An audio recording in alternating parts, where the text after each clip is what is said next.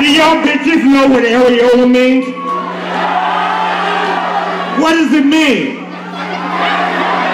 Then take your motherfucking titties out when Tech N9ne says, oh, areola, motherfucker. Y'all making me look bad, nigga. I'm with strange music, nigga. Y'all take that shit out when he say areola. Don't just sit up here and bounce. Do y'all love me at least?